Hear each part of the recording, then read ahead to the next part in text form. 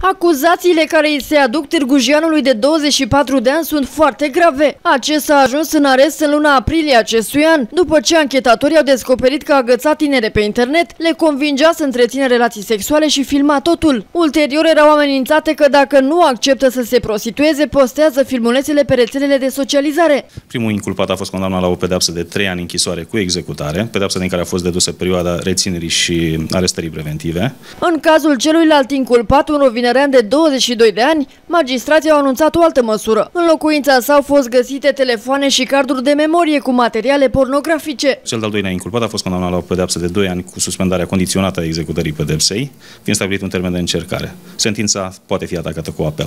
Avocatul uneia dintre victime a precizat că va ataca sentința de la Tribunalul Gorj, întrucât soluția este prea blândă. Una dintre tinere este elevă la un liceu de prestigiu din Târgu Jiu. Profesorii au dispus consilierea psihologică în cazul ei.